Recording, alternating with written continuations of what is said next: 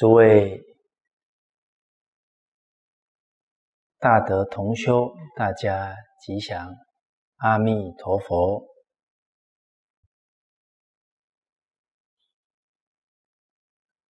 啊，我们啊前面几节课啊，请我们赵小龙老师啊跟大家。受啊春学旧语的课程，这对我们从事教育工作啊啊非常重要啊，我们啊能在啊陈红点啊这个刘洪典先生啊他一生的。教学智慧啊，包含啊，他从经典当中所汇通的这些有关教学的重要经句的教诲啊，然后写成这一本呢《春学旧语》。啊，我们能在这个基础当中啊，来从事教学啊，啊，少走很多弯路，啊，少造很多业啊，所以福在受见啊，我们能接受刘洪典先生啊这部书的教诲提醒。好的，我们效法；不好的，我们不犯。那我们这一生教学呀，啊，福报无边，功德无量。哦，那赵老师也结合自己求学啊教学的人生过程。啊，他也是小时候比较皮啊。啊，所以大家听了之后啊，啊，对于皮的学生呢，啊，不止不要差别待遇啊，啊，很可能他很有潜能啊，哦，而且不只是从事教育的人呢，要学这一部书啊，啊，应该是每一个人。想把自己的本分做好，角色扮演好，啊，他都要学，啊，因为我们要把人生的每一个本分角色做好啊，都要做之君，做之亲，做之师。我们可以自己想想，哎，我现在有哪些本分呢？哎，现在做的够不够圆满？啊，做的过程会不会有瓶颈？啊，会不会有压不住的情绪？啊，会不会觉得这个本分啊，这个人伦关系啊，啊，有点跳不出恶性循环来？那这个时候要想起啊，师长儒家的三宝啊，君亲师爱，哎，反求诸己啊，哦，不能怪对方啊，是不是我这个做之君不够？以身作则不够啊，大公无私不够啊，啊，做之亲。是不是我的关怀爱护不够呢？啊，做之师啊，我的这个善巧的启发引导不足呢？这么一反省啊，哎，自己觉得有不足啊，就不会指责他人了。啊，就会从自己的心上啊去调整，心一调整，心是正报。啊，依报就随着正报转。啊，那个人际相处的那个恶性循环呢就跳出来了。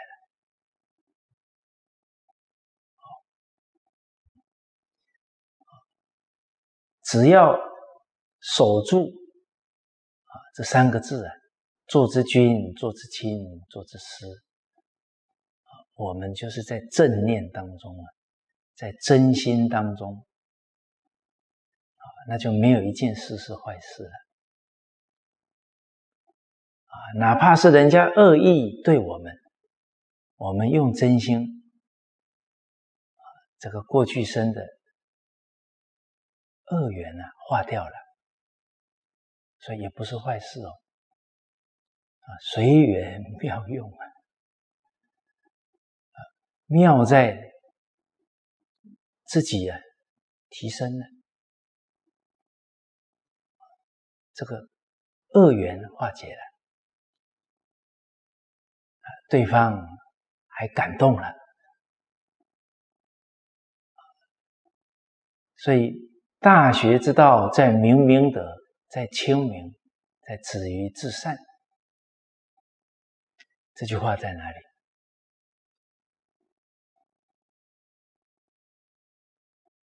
这句话就在每天遇到的境缘里面啊。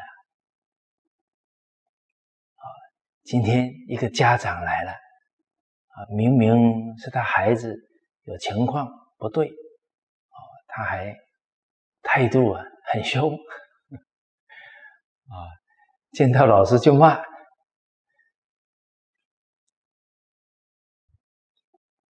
哦，那这个时候我们啊没有动情绪啊，还是真心真诚的对待他啊，那我们就修忍辱了。那可能这个确实是过去生缘不好啊，化掉了，哎，啊，我们的诚心慢慢让他的情绪平复下来了，可能后来他不好意思了，啊，这不被境转，能够转境，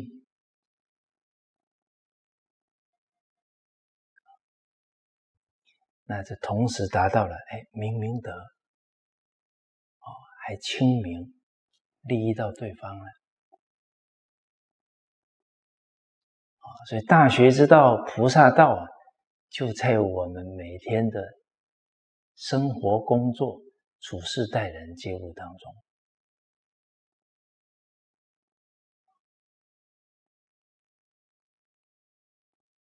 我们什么时候教学生忍辱啊？忍辱是不是人生必修科目？我们什么时候教自己的孩子忍辱啊？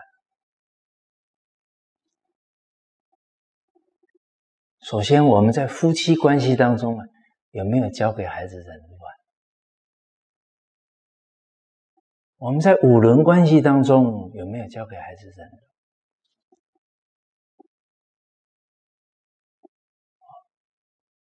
所以，我们真的啊，用真心啊，事事都是好事。一般的人遇到事啊，他是先产生喜欢或者讨厌这个爱真的心。那说实在的，他就很容易受这个境界的影响。哦，那一天见到一个父亲，哦，他现在事业的压力也不小啊。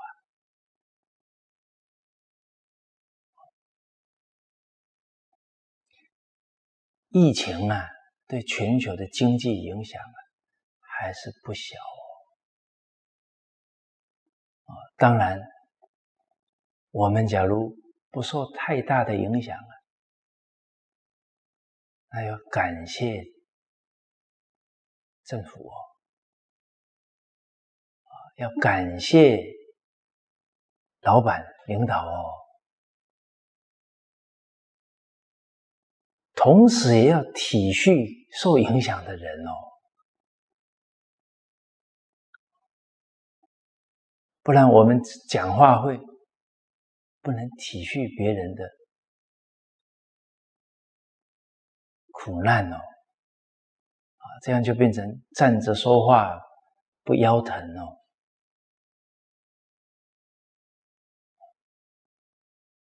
啊，我们随时啊，不能站在自己的角度去看事、去体会事情。啊，这个也是我们有可能会犯的问题。啊，我曾经跟大众在交流的时候，啊，谈到啊，我们应该孝顺父母，照顾老人。哎，有一个女士讲。嗯，我不需要我儿子照顾，哦，我自己经济没问题了。这样讲话都是站在自己的角度而已啊！啊讲这种话，假如被比较自私的年轻人听到了，对啊，对啊，你看人家，呃。这个女士都这么讲啊，某个妈妈都说，嗯，不用孩子照顾啊，那她不孝顺父母，就借由这些说法，好像变得更理直气壮了。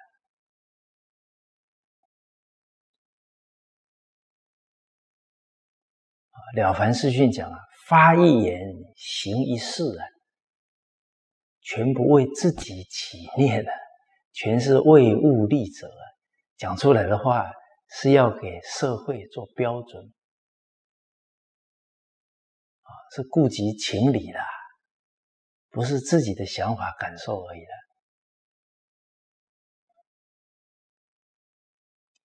哦，那我跟这一位父亲啊在交流啊，我说你的孩子往后的人生呢，挑战比我们小。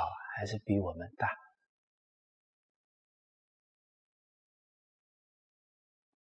啊！诸位仁者，你们觉得我们的下一代，他们的人生面对的挑战比我们小还是大？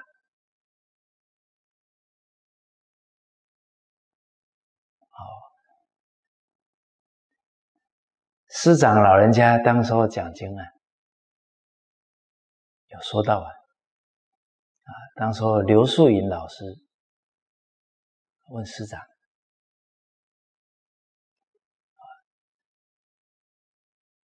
啊，像他们这样的年轻人，啊，那指的就是我们这个五十岁上下的这一辈啊，孙子辈的，他们弘法跟你老人家比起来怎么样啊？啊，老人家马上就回答了。比我难十倍、百倍都不止。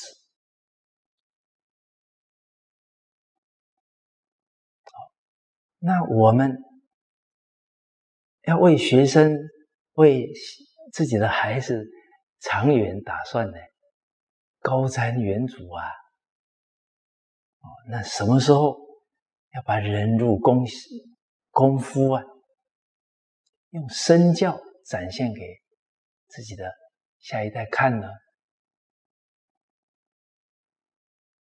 哎，这么一问呢，哎，感觉这个父亲啊，好像脸上的表情不太一样了。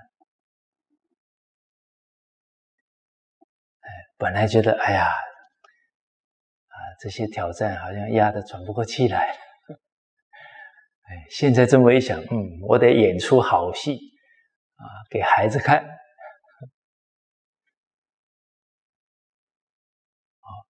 有时候转个念呢，转个角度啊，情绪呀，有时候可以转成一种责任，一种动力呀，所以佛门特别强调烦恼即菩提呀，啊，危机就是转机呀。老子告诉我们。祸福相依呀，它转变是很快的啊。这个福来了，不惜福，奢侈，很快祸就到了。我们这一代人看得太清楚了，在我们眼前看到经济快速发展，我们所呈现的不是富不过三代，在我们眼前呈现的是富不过一代，啊，祸福相依，转变很快啊！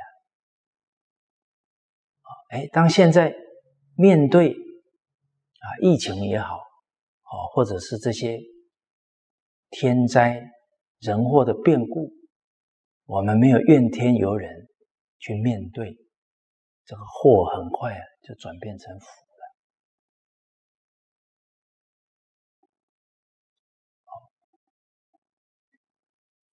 好，哦，所以这个老和尚说的儒家三宝啊，啊，我们要把这个宝啊带在身上啊，啊，随时。用君亲师来关照自己呀，那我们就能保持正念，啊，保持真心，啊，不容易指责对立，啊，懂得反求诸己了，啊，陶上每一句话都是宝啊，啊，春学旧语。这些教诲也是宝啊！啊，我们有的宝啊不少了，啊，得把这个宝啊拿出来用了，用了啊，它才会产生效果出来，啊，就好像啊，我们啊拿到了很对症的中药。啊，也不是读一读，病就治好了，啊，得要去抓药，把它喝下去了，就药到病除了。啊，我们这些经教都是宝啊，我们只要把它落实了，啊，我们很多问题啊，就迎刃而解了。所以这些都是总持法门呢。总持就是代表任何情况啊，都在其中了。啊，做之君，做之亲，做之师，任何事情，只要回到这个关照来，那没有任何境界会障碍到我。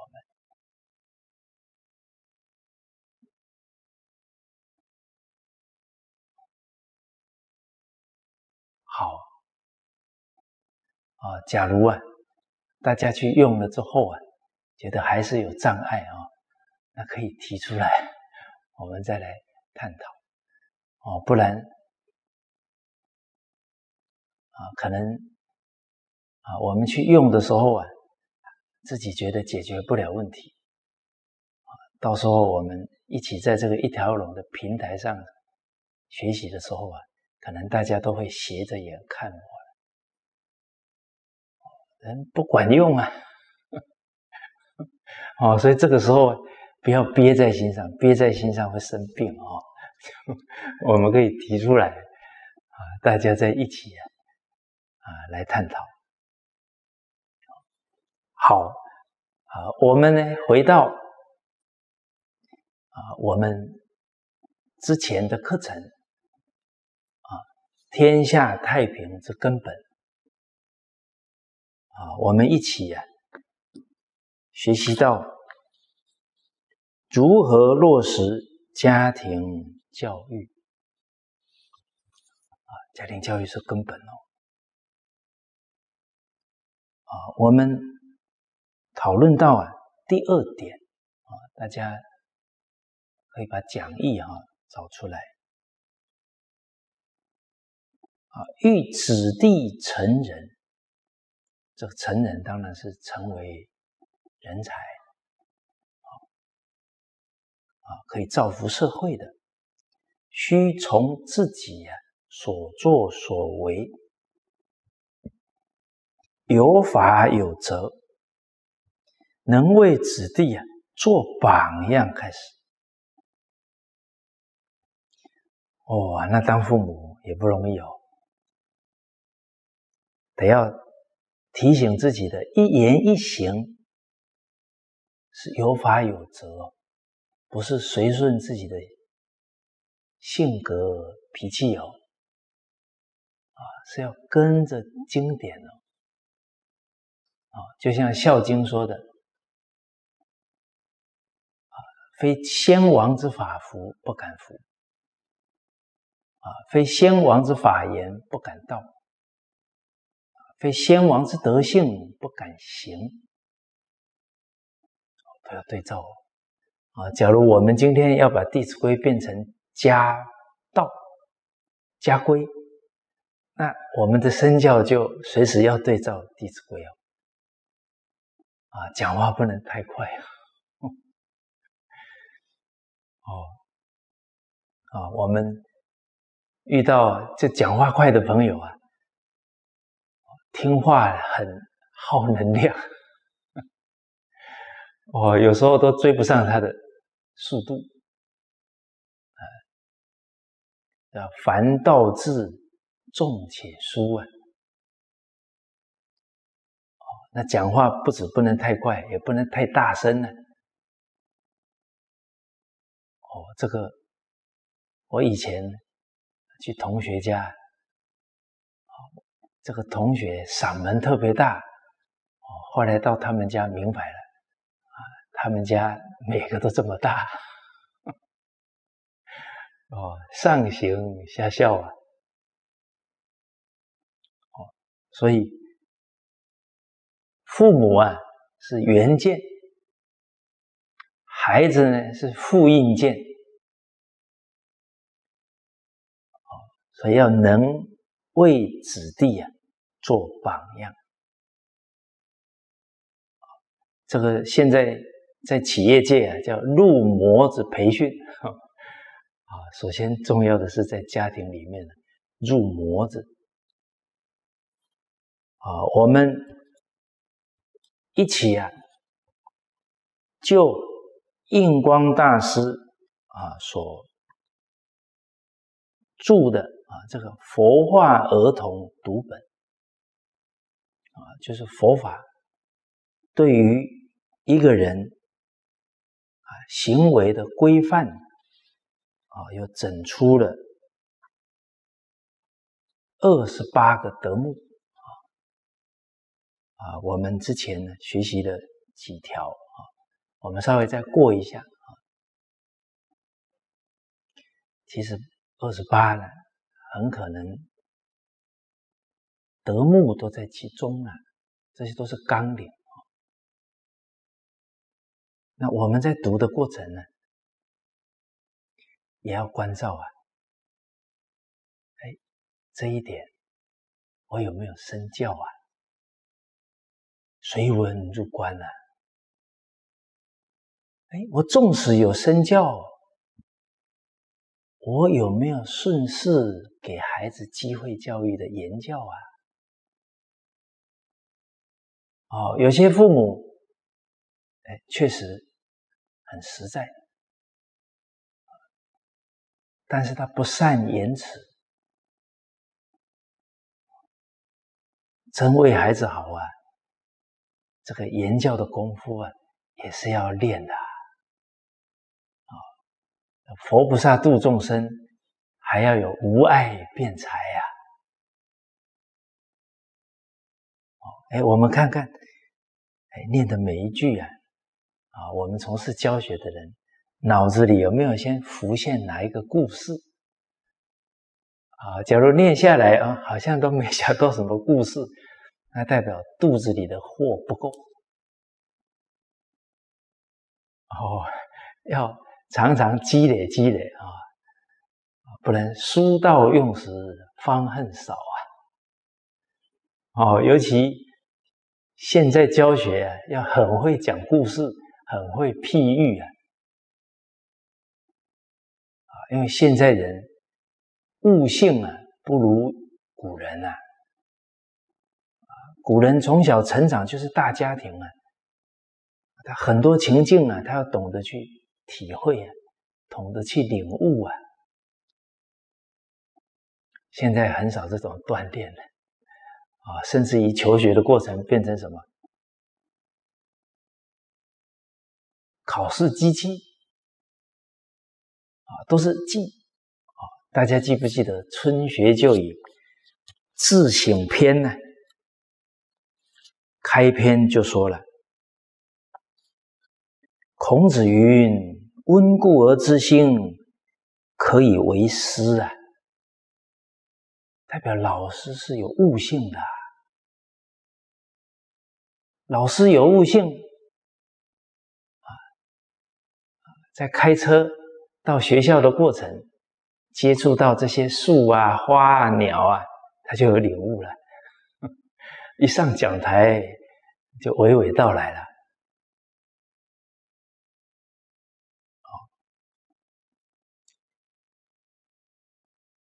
礼记学记》另外一句话讲啊，“记问之学不足以为人师哦。”可是自己呀，从小成长的学习方式是什么？记考试啊，考完几天都还回去了。这种学习方法对悟性啊有损伤。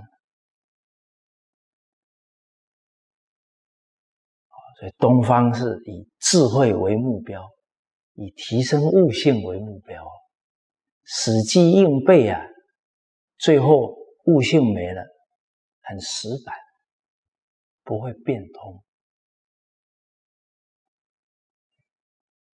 甚至于什么都要，你就具体给我讲吧，到底要怎么做啊？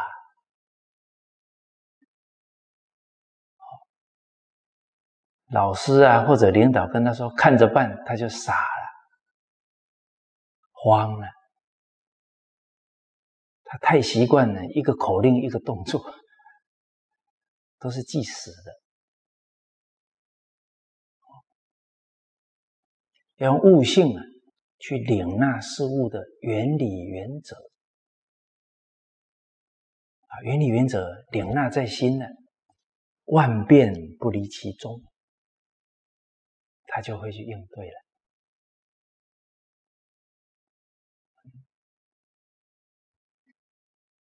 好，前几天呢，啊，我跟一个企业在交流，啊，为什么要跟企业交流呢？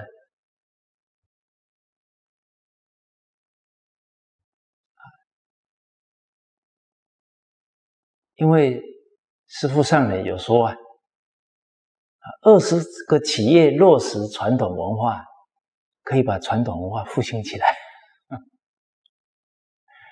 哦，那师傅乎应勿还了。好，我们可以体会到啊，这是老人家观察这个时节因缘的智慧。啊，当然我也有切身感受了啊。什么切身感受呢？这个是 long time ago 啊，好多年前了啊，十九年前啊啊，承德的时候在海口啊，看到一个报纸啊，是深圳的一个事情，好，有一家公司招一个主管，年薪二十万啊，年薪二十万人民币不错了。一年可以买栋房子了，算不错了啊。条件会背《弟子规》，哇，一下子啊，深圳的书局涌入不少人，问说：“你们这里有没有一本书叫《弟子规》啊？”，你说这个企业界的。动向啊，对社会影响大不大？啊，所以今天假如啊，张忠谋先生说哪一本书必读，哇，我看就不少家长重视起来了。啊，社会在变呢，啊，企业家对社会的影响在现阶段是很大的。啊，所以稻盛和夫啊。他推荐给年轻人的第一本书《了凡四训》。哦，我最近刚好回到台湾啊，啊，那个下一代啊，我上一次见他的时候，他才四五岁而已，现在见了已经都是二十几岁的人了。哦，啊，当然他对我不陌生。啊啊，因为他在家的时候呢，他妈妈都有叫他，哎，你要看这个叔叔讲的课，哦，舅舅讲的课啊，所以对我还不算陌生。啊，他们在企业界服务了，你跟他说你认识稻盛和夫吗？哎呀，认识啊，哦，这个就有话可以聊了。哦，你假如说，嗯，那个《论语》啊，两千多年前的，你要读啊。哦哦哦，他可能没有马上这么来电了，哦，马上这么 引起他的重视了。他可能觉得那个是很古老的东西了。哇，现在经营之圣，他讲的话啊，所以讲话都得啊顺势而为啊。哦，那我跟。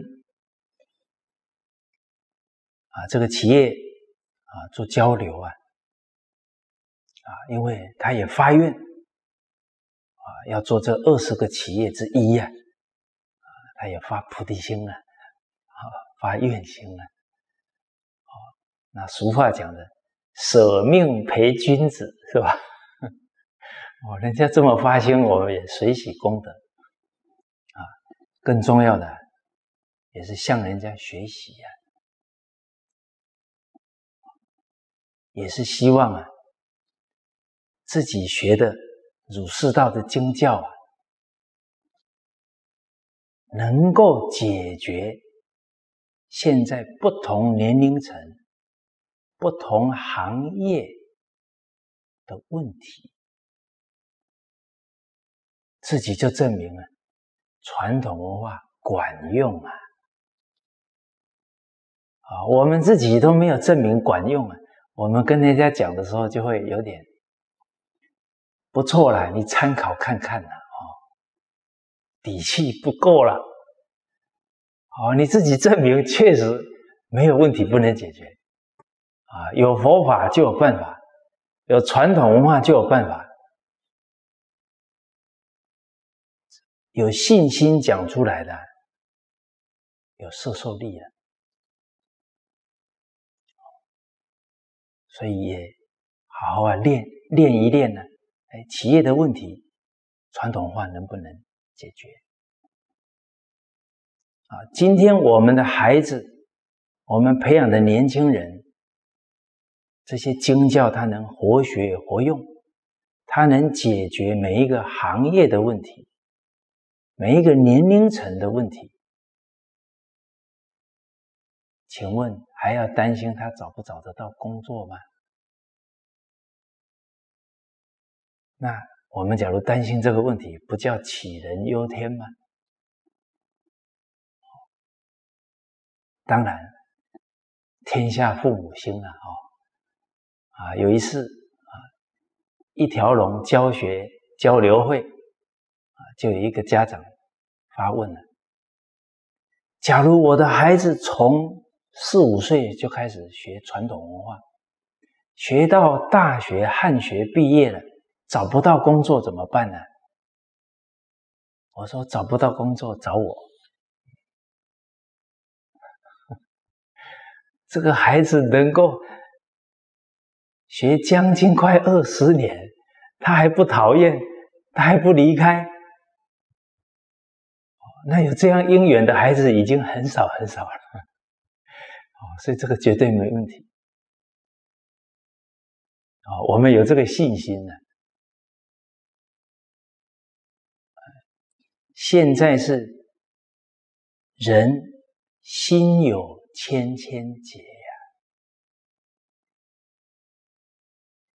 家家有本难念的经啊，怎么解决？我们看企业人事问题多不多，流动率高不高？做老板好做啊！做老板做几年了，白头发也会增加不少啊。你说这个没有经典的法药解决不了，所以我们学好。以诸法药救疗三苦啊，为众开法藏啊，广施功德宝啊。现在每个人每个家庭，只要没有经典，他的问题很难解决。子孙虽愚，经书不可不读。所以只要跟亲戚朋友。相聚的机会啊，就是开法会的机会了。当然，这个法会的开法不是你去跟人家讲道理啊，顺着聊天的内容啊，娓娓道来讲个故事啊，或者自己现身说法。哎呀，我之前因为不懂啊，啊，身体搞成这样啊，啊，最近听到一个课啊，《黄帝内经》啊，老老很远。呃，我身体有调整了，哎，现在精神不错啊，啊啊，对我的家庭事业有什么好的影响啊？哎，你讲的问题他有啊，相逢就是难得的缘呐，啊，要珍惜啊，不是聚在一起喝咖啡聊是非啊，还造口业啊，啊，那这样就很可惜了。好，结果啊，陈德啊，跟他他们交流啊，他就问陈德说啊，具体啊，怎么把传统文化落实在企业啊？具体应该怎么做？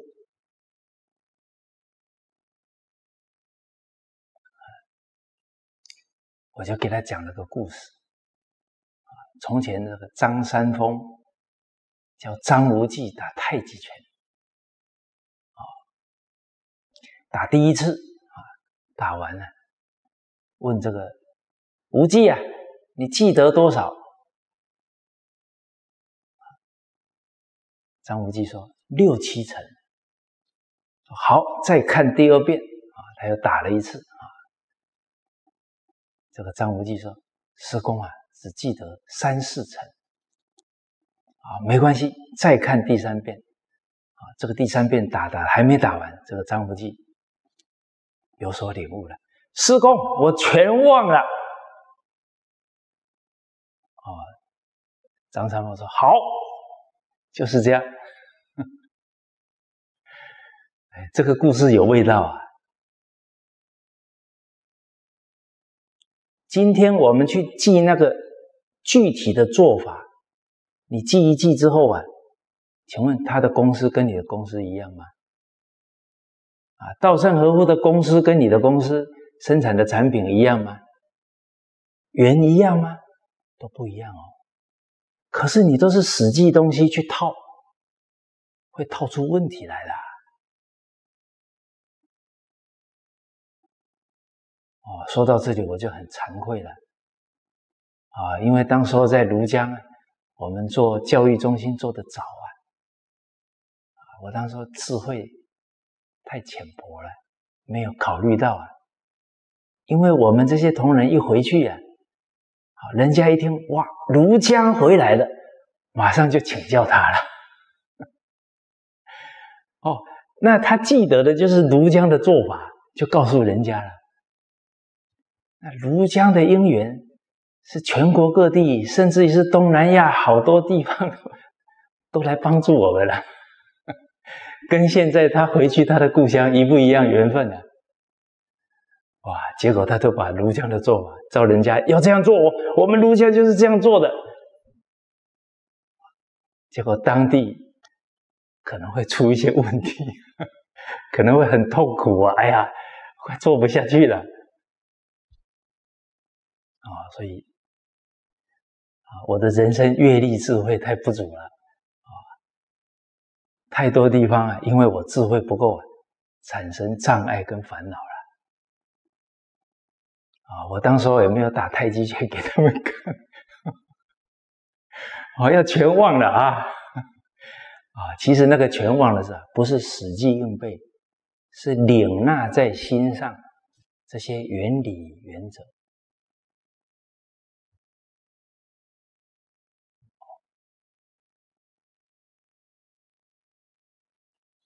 啊，我具体啊再拉回来我们的教学啊。我们复习一下前面讲过的啊，啊，我们在十年姻缘啊，跟大家交流了，老和尚是一个小时哦，我们一起探讨了十几个小时哦，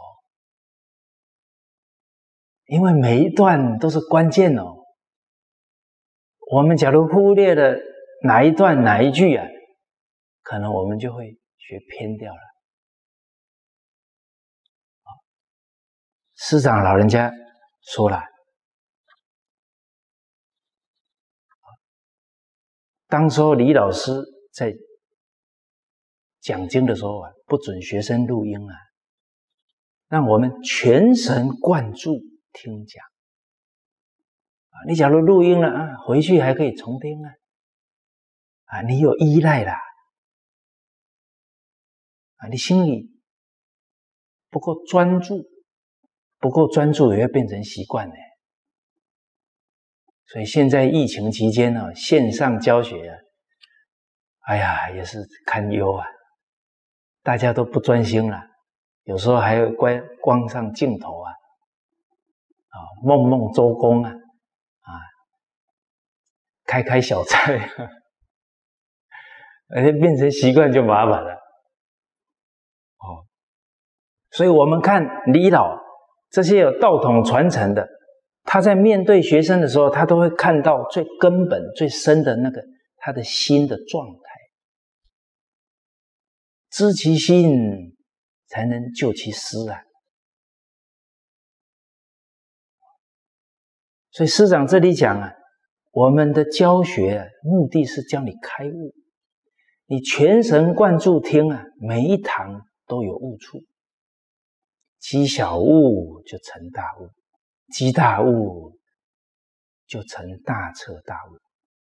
你的境界年年会提升，所以记的东西通通没用了。啊，古来祖师大德教学的一套方法跟现代不一样。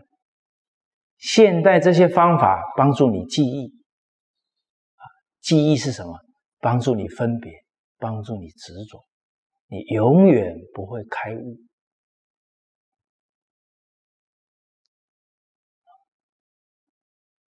我也遇过啊，记忆力非常好的人，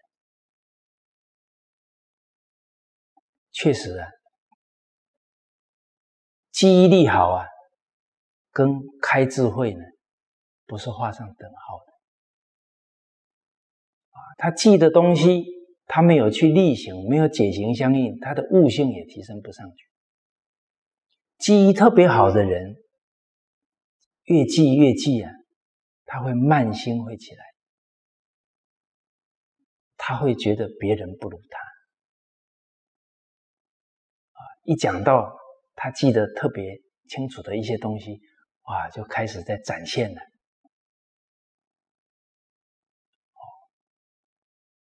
啊接着师长讲了，我听李老师讲华严呢，我只听第一卷，第一卷听完之后，下面我都能讲。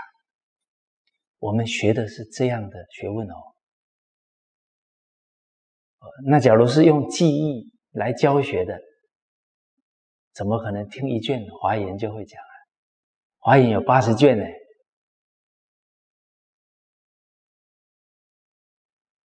他从一老人家从一卷当中就掌握了整个原理原则啦，领纳了，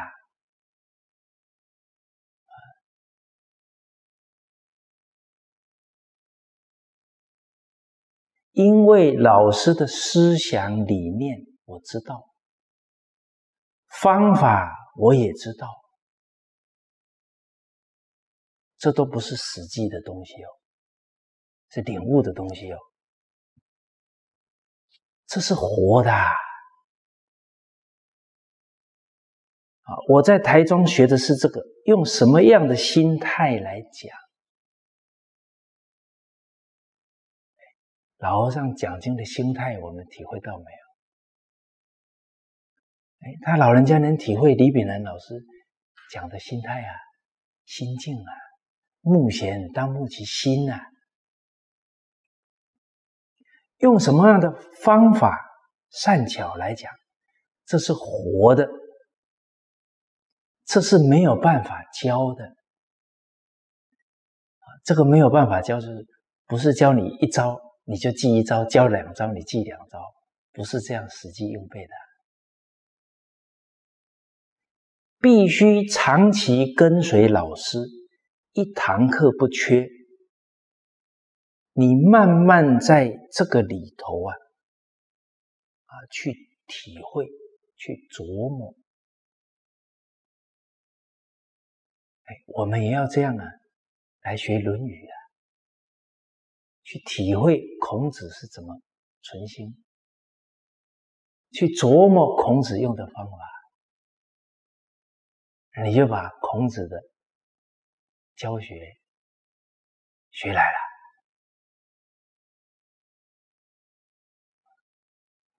啊，你在这里呀，体会得心得，然后我们自己在讲台上能够灵活运用。你学他每一句怎么讲啊？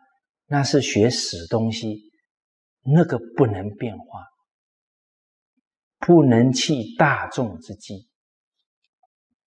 好，我相信现在念这一段，大家应该都还有印象吧？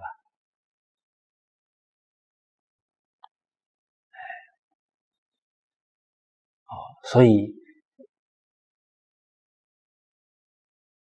春学旧语一开头，自省篇就温故而知新，可以为师啊。记问之学，不足以为人师啊。啊，我们的学习方式是不是正确啊？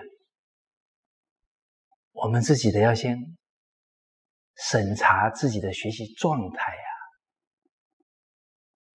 啊。假如是死死记硬背的，那得把这个转过来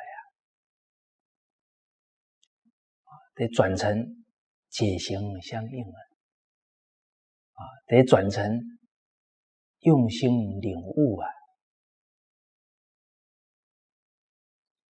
好，那我跟企业界的朋友谈到这里啊。我进一步就请教他们了，啊，因为他们学过稻盛和夫的企业哲学，我就请教他们，哎，请问你们学稻盛和夫的哲学啊，他有教你具体怎么操作的细节吗？哎，结果他们反馈回来了，啊，什么成功方程式啊？什么六种精进啊？其实都不是具体的做法，都是什么原理原则，还有很重要的心境。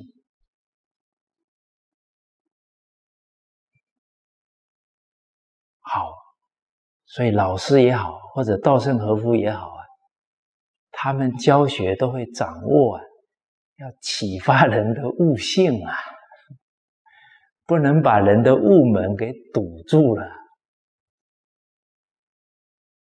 是导而扶牵呐，引导，不是拉着他，不是灌输，抢而扶益啊，抢鼓励他啊，不要否定他，不要压制他。我们教学的人呢，现在讲话没有去否定学生，就不容易哦。我们还没学传统文化以前呢，我们常用这种言语的话，他有时候一不经意他就出来了，甚至会有一点。调侃、讽刺的话，轻视的话，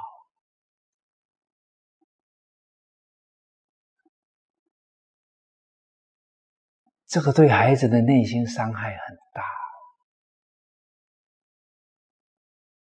哦，有老师看着，你看这文言文，这很难的哦，这条路不容易哦。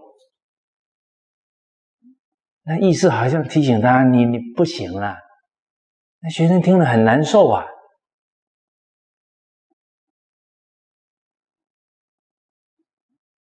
这个都会造成孩子内心的障碍，因为他对老师是恭敬的，老师讲这些话，真的像一把利剑一样，就刺到他的心里面去。哦，我最近就有遇到这样的孩子。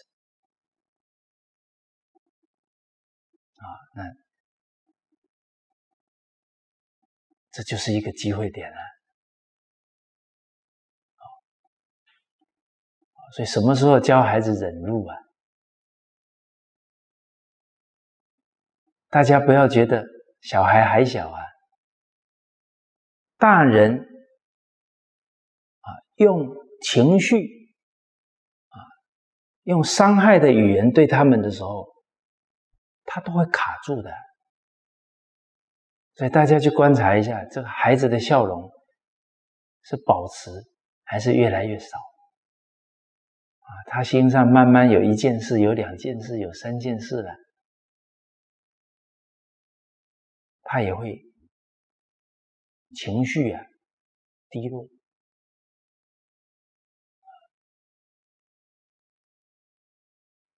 啊，那。跟孩子就交流到了啊，世间的事啊都不会离开因果两个字啊，欲知前世因，今生受者是。所以这个老师可能呢，过去跟你的缘不是很好啊，但是他现在肯来做这件事啊，非常难得了。他能不是追求世间的名利啊，但是毕竟啊，很可能有过去的缘，包含老师也不是从小学的，他也还在学的过程啊，让孩子能释怀，能包容，哎，甚至于这个老师可能就是来给我们上一堂课。我以后对人，或者我以后教书啊，我绝对不犯这样的错。他的念一转，本来卡在心上的，会转成一种愿力。其实都是机会点哦。我们不能太不敏感了。孩子笑容已经减到不不是笑得很出来了，我们才问他怎么啦？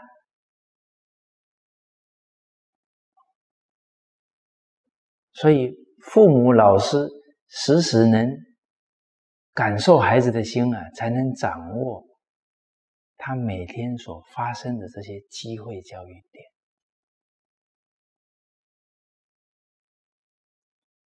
啊，所以刚刚跟大家说了啊，我们现在啊看着印主编的佛画儿童读本。我们读的过程，我有身教吗？我有言教吗？啊，我记得的故事够不够多？哎，我这一句有没有变成我们家我的班上的班风呢？那就变成一种敬教了。其实啊，我们当老师的人哦，二十四小时不够用啊，啊，没有时间打妄想。好，身教、言教、敬教，我们都要全面提升啊，时间不够用了。哦，那也感谢当父母、当老师的这个责任呢。让我们不会浪费时间呢，不会打妄想，哦，让我们每天都很精进啊，不懈怠，哦，没有这些静缘呢，我也很容易懈怠啊，哦，这个是讲真话了。好，我们看第一个孝亲，身体发肤受之父母。父母与我实为一体，我爱自身，应孝父母。真的，我们身体一不舒服啊，就牵动父母的心弦。像我们是常年在外啊，啊，一打视频，妈妈第一句话。哎，你怎么瘦了？你看我们的一点变化都牵动父母的心啊！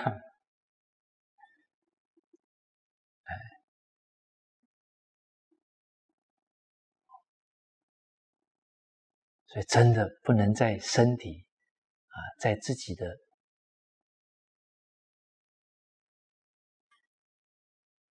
这个家庭相处当中啊。让父母去担心我们，报恩都来不及了，不能再让老人家啊心不安了啊！好，那人不入身，便是荣轻啊，德有伤，贻亲羞啊！啊，这不能入身啊，立身行道，扬名于后世，以显父母。第二，有爱啊。兄弟姐妹，手足骨肉，痛痒相关，休戚与共，兄爱弟敬，和和睦睦，相推相爱，家庭之福。好，哎，大家现在有没有冒出哪一个故事来啊？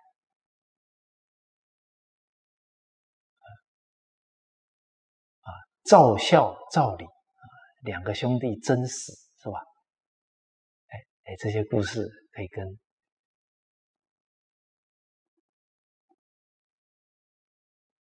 同学们分享。哦，好像现在说，你现在讲古代的故事啊，可能现在的同学说：“哎，那都过去了。”哦，还得准备一些现代的故事啊。最好是自己的故事啊！哦，记得啊，当时候在教学的时候，这个一讲说啊啊，老师啊，以前哦，那个学生眼睛就瞪很大了啊，他很喜欢听老师的故事，跟老师有关系的。哦，有一次学生听我讲完故事说。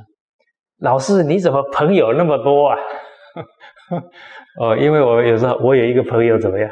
我有一个朋友，哎，哦哦，那自己假如真的有在落实有爱，那怎么可能你没故事可以讲？跟自己兄弟姐妹太多故事了啊！第三啊，敬师。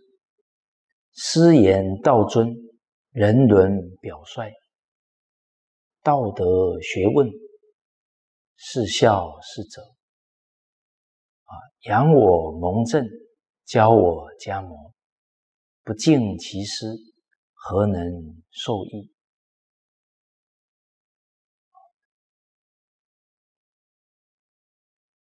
啊，古代啊啊有一个栾贡子啊，他的国家危险了啊，结果这个敌军杀进来了啊，这个敌军的负责人就跟他说：“你投降啊，我就让你当多大的官。”他说：“名生于山呢。”每一个人，就是因为有这三个角色啊，才成就我今天的生命啊！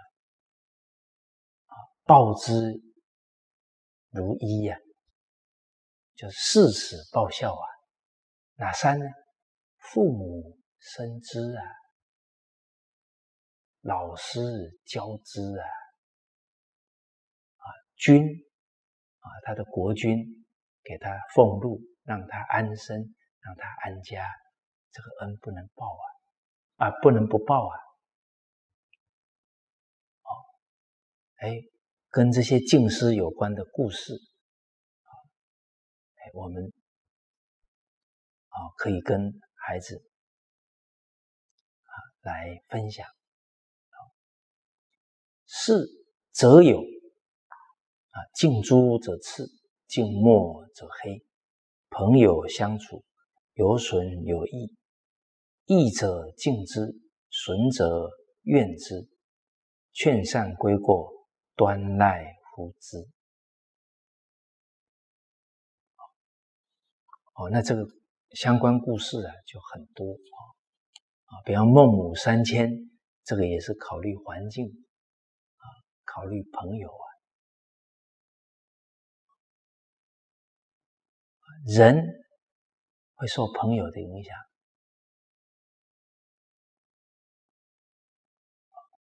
包含动物啊，都受环境的影响。在印度啊，有一只大象，它的任务啊，就是执行死刑啊，把人给踩死。结果他住的地方刚好失火啊，他没地方住了，啊，就移到啊另外一个地方去住。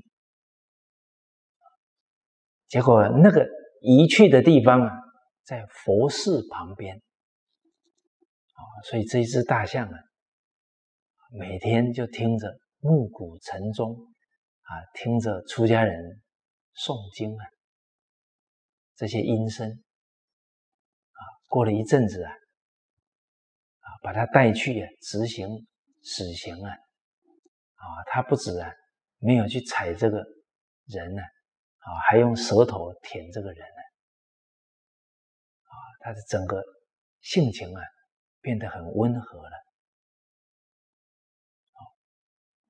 哇，你看，所有的生命啊，都会受环境的影响，啊，所以要慎选环境啊。慎选朋友，啊，布衣衣取遮体，兼以御寒。啊，我们再多念一次。说实在的，现在的学习啊，要不厌其烦的重复。好，而且这个重复啊，还不能让对方觉得啰嗦。啊，是在哎，刚好有相关的，哎，把它连接进来，啊，他一听也很亲切。哦，对对，老师，你上次有讲过，加深他的印象。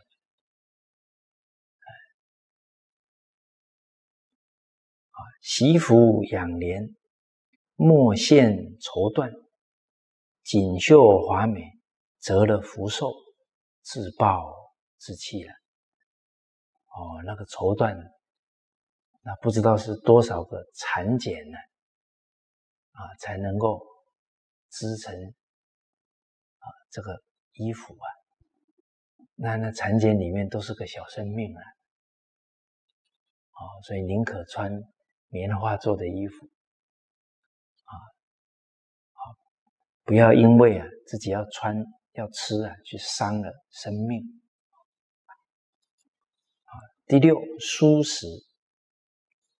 啊，蔬食卫生，肉食伤身，杀食恨心，啊，其毒非轻，啊，勿贪吃肉，吃的虚还，还的时候真个可怜。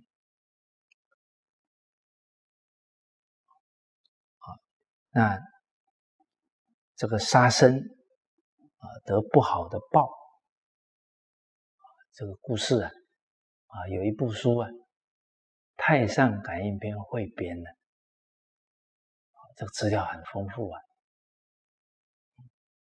但是还要有现代的哦，啊，有时候举例子还要正面反面，啊，你哪个亲戚朋友吃的素了，三高下来了。啊，身体变健康了，哦，那是吃肉吃太多了，最后身体不好啊，有这种对比的例子，好，好像汇编里面有有个妈妈啊，看到这些蚂蚁昆虫啊。他就用火啊，都要把它们烧死，啊，都是一条命啊，很残忍的。后来他生孩子了，啊，孩子还在襁褓当中，才几个月，啊，他刚好出去房间一下，没多久啊，回来了，啊，看到孩子在床上啊，变成一坨黑黑的，啊，他就近一看。孩子，啊，被无数的蚂蚁啊包起来咬了，死了。哇！最后这个妈妈也发疯了。出乎尔者，反乎尔者。你这样杀害这些蚂蚁，他会记恨在心呢。一有机会，他会报仇啊。动物是有灵性的啊哦，在古代有一个人啊，他在酒店工作，那在酿酒啊，有一些苍蝇不小心啊进去了，就溺死了啊，他很慈悲啊，通通把这些苍蝇都捞出来，救救了他们。结果后来啊，他被人家诬告，啊，判死刑。结果那个负责的官员啊，就要判下去画押了啊。要写的时候啊，很多苍蝇都飞过来，让这个官员没有办法写啊。那以前的官员懂因果啊，哎，这其中啊，是不是有什么缘故啊？赶紧彻底去调查，确实他被诬告了。你看他救这个苍蝇的命啊，苍蝇救他一命。哎，这些故事啊，都可以跟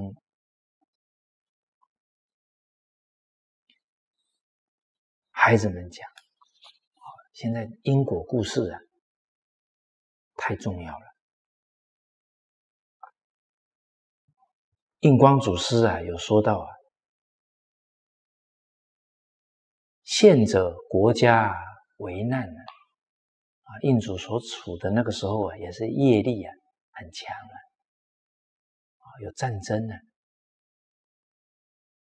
天灾人祸很多啊，以致千钧一发之际啊，啊，予以为啊，今日治国需标本兼治。啊，兼治之法，最莫善于念佛、吃素、戒杀、放生，而深明乎三世因果之理。所以，我们要把因果教育啊融进去教学里面。其实我们讲伦理道德啊，都离不开因果的。啊，做善这样子百祥嘛，做不善这样子百殃啊。伦理道德都是善啊，一定跟善相交感。现在世界之劫运呢，无人所受种种灾难。皆是过去恶业所遭感，以致感受到现在的苦果啊！所以这些恶业呢，是过去的因所造成啊。欲免苦果啊，先要去掉苦因。那过去已经种的这苦因啊，怎么办呢？念佛忏悔，乃能消去。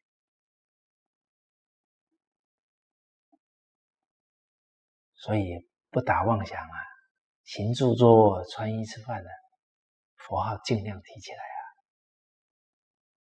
啊，忏悔叫重罪轻报啊！啊，普贤菩萨忏悔业障，这个力量很大的哦！啊，弥天之罪啊，这个一忏呢，啊，都能转业果啊。大家有没有看过啊？以前造很多业啊，突然明白道理了，忏悔啊，痛哭啊，哭完之后啊，整个脸的气质、脸色都不一样了。哦，那忏悔之力确实大。哦，那现在如不再种苦因了，将来即能免受苦果。那何谓苦果啊？贪嗔痴三毒是也。所以我们教因果教育，还要教到让孩子知道，连这个念头啊，贪嗔痴都是苦因啊。好，那相应的故事啊，也要告诉他们了。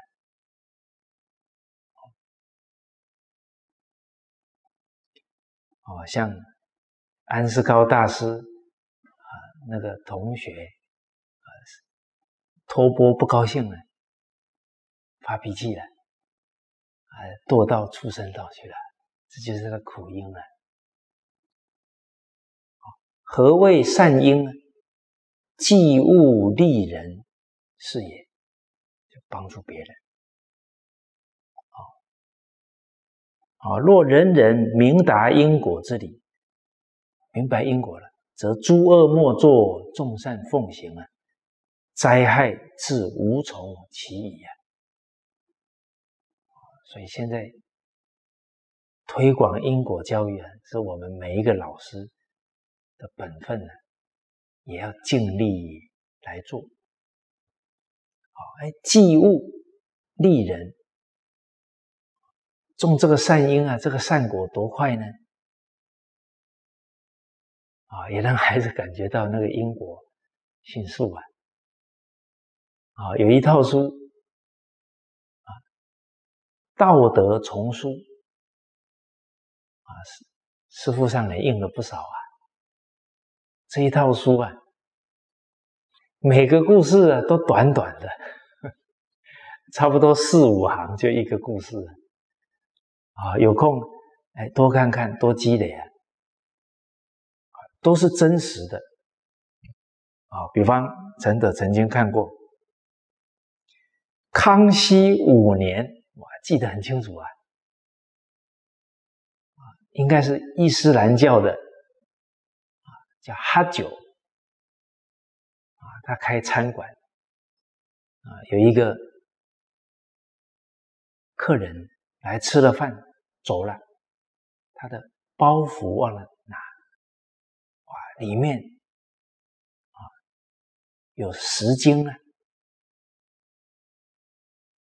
结果呢，他一看，赶快叫兄弟哈七追上去啊，因为那是赶路的人呢，啊，追追追，刚好追到渡口，啊，客人还没上船，赶紧还给他。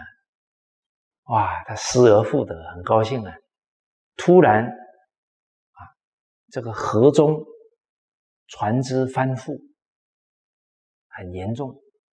他一看到，反正我这些钱失而复得，啊，谁能救一人呢？赏十金啊！结果船只就快速过去了，最后只救了一个人，就是哈九的儿子，刚好在那个船上。哦，那大家想一想，假如哈九没有叫哈七还回去的话，他儿子就没救了。你看古人很用心啊，都给我们记这些故事啊。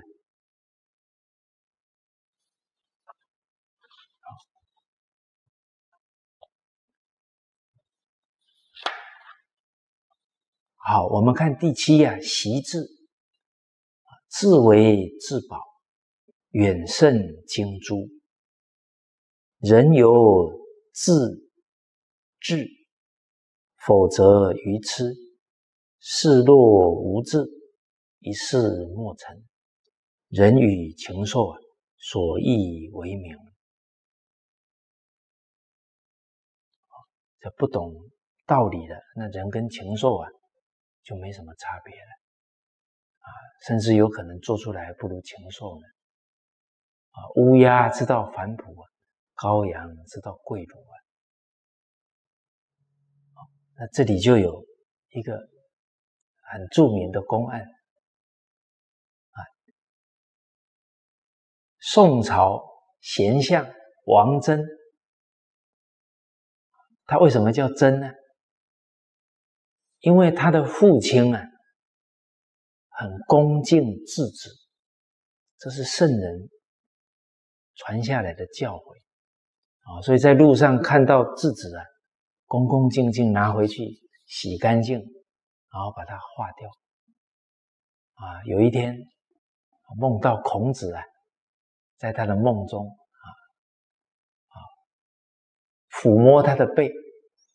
哎呀，你这么尊重圣贤留下来的经典啊！不过你年纪大了啊啊！我派王呃，我派曾子啊来做你的儿子哦，所以他父亲就把儿子的名字取叫王真。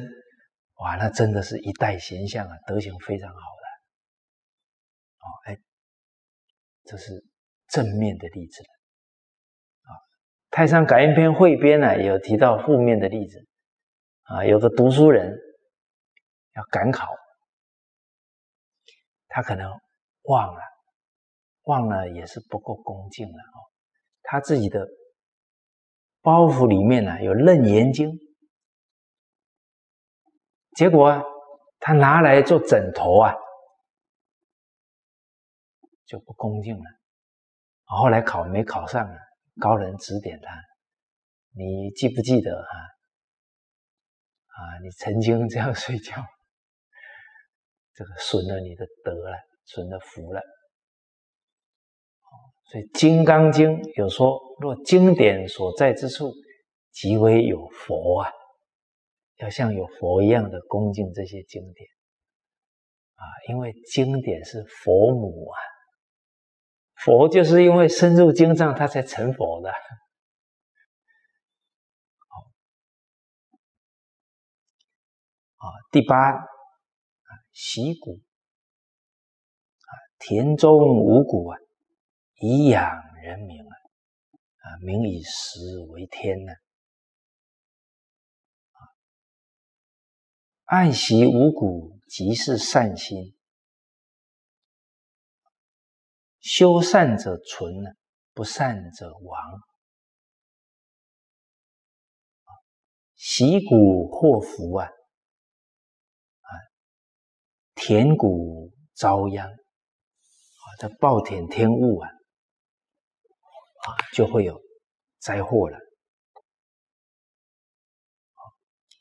这个汇编呢，啊，确实这个理论的很清楚啊。事例又非常丰富啊，而且很多角度啊，所以古人这一部书经历了上千年这样积累下来的，每每一个朝代都有增补啊，啊，所以能珍惜这一部书啊，那不知道是珍惜多少人的良苦用心了啊。这里有提到了，从来善气无谷的人呢，多遭雷震之祸啊，被雷啊打死了。为什么呢？因为民以食为天呢，啊你暴殄天物了，会遭天谴呢。亲之。啊，你轻视的五谷啊，这是亵渎天呐，民以食为天嘛。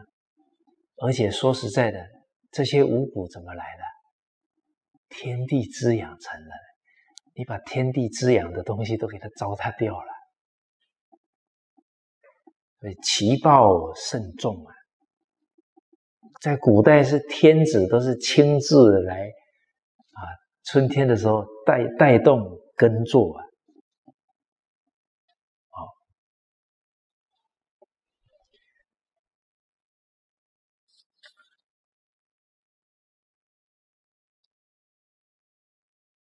那这个陈希敏公义父，他的父亲啊，为人善后啊。有一次在厕所间呢，见到锅底饭啊，锅底饭可能还有点硬吧啊。见到锅底饭一块，在厕所里面捡的，捡回来。洗干净吃啊，不糟蹋啊。夜里啊，就梦到神说了：“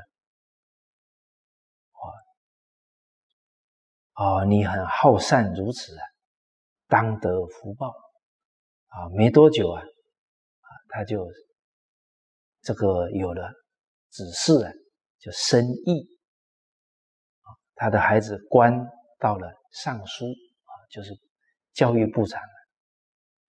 结果呢，封他的儿子啊，他做到教育部长啊，就封他的父亲同样的官职啊，所以你看他的父亲就捡了一块这个掉在厕所的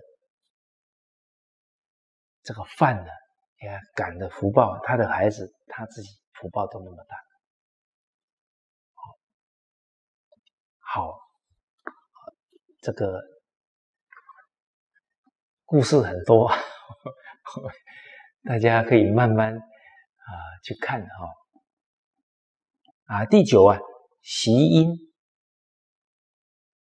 啊，七十古稀啊，弹指即过啊，过则已无啊，何敢懈惰啊？努力勤学，立德立业，自利利他，为事作则。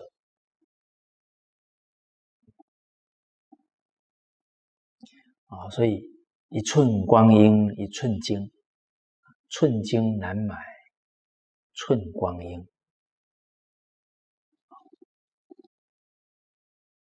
大家有没有看过啊？因为习光阴得到好报啊，或者糟蹋光阴得到恶报的例子？啊，哎，有有的可以跟大家分享一下啊。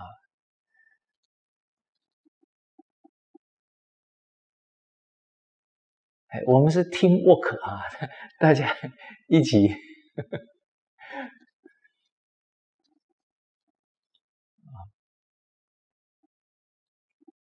啊，可以一起建立啊 database，建立资料库啊。啊，建立故事档案库。哎，有的话大家不要客气的啊。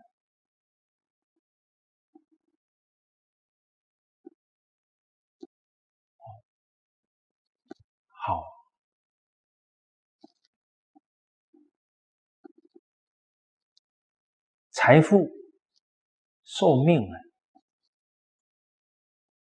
这个都是属于福报。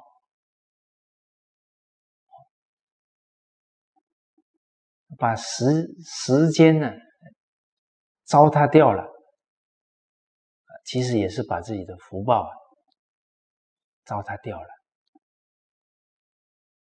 而人呢，其实没有长命短命啊，就是呢，这个福禄啊花完了，命就没有了。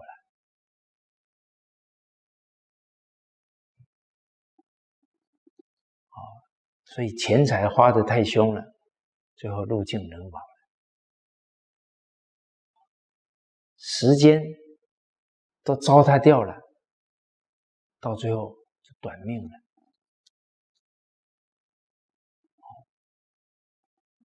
好，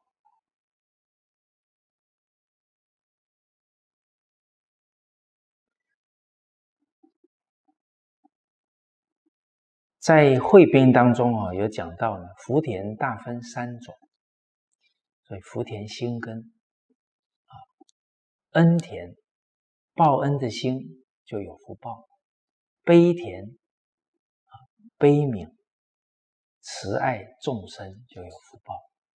再来是敬田，啊，恭敬物品，恭敬生命，恭敬时间，啊，这个都是培福。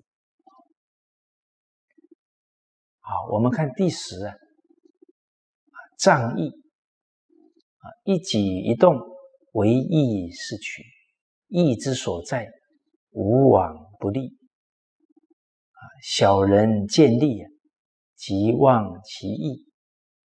虽得小利，究竟吃亏。